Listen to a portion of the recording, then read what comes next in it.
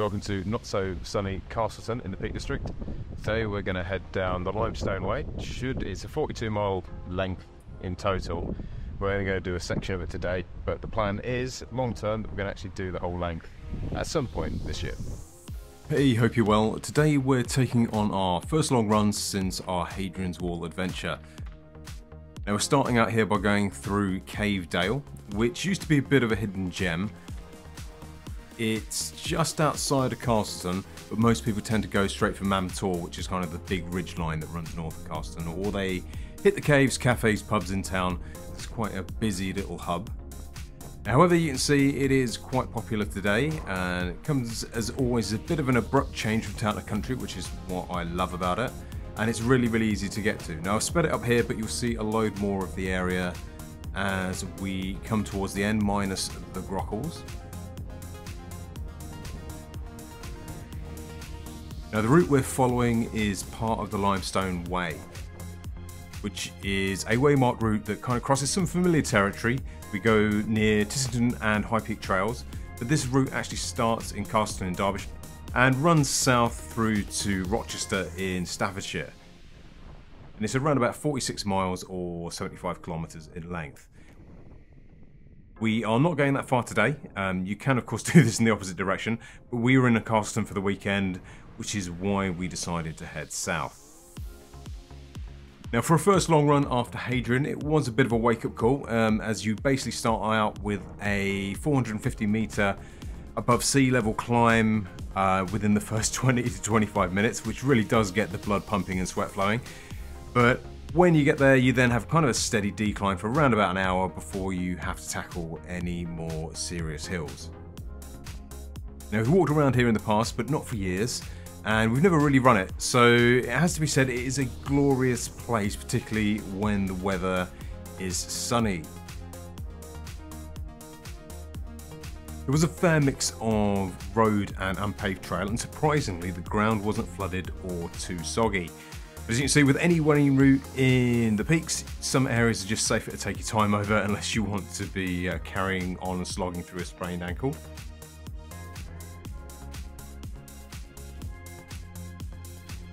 We're heading way off course here. We got distracted by some walkers and just plodded on without looking at our maps.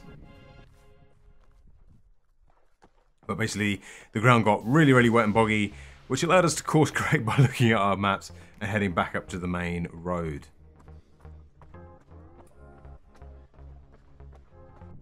Now here we are back on the main trail. And as were all my concerns at the start about the weather, it did actually hold up really, really well. And, and around about mile 9, we came across a pub, stopped for a drink, reviewed our maps before we decided it's probably a good place to turn around. Basically, we didn't start off until about 1 o'clock in the afternoon. And had we decided to go any further, we would have had chances of running in the dark, which at this stage probably not too much fun.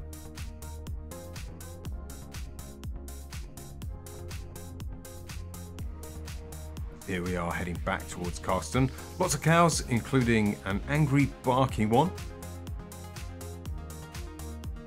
Any minute now.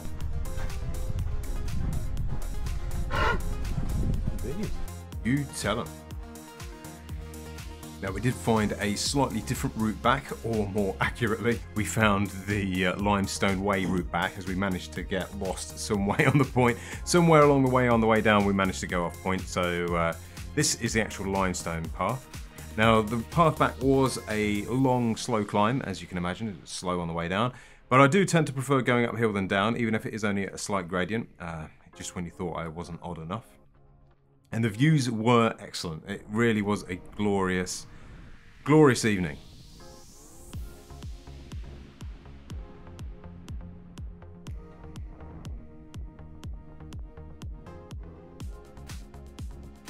There's a small pond that kind of signifies we're now heading back down into Castleton. Now, if you do visit Castleton and you don't want to run but you want to see the scenes, I would strongly recommend walking up to the top of Cavedale. You just need a sturdy pair of shoes, he says, wearing trainers.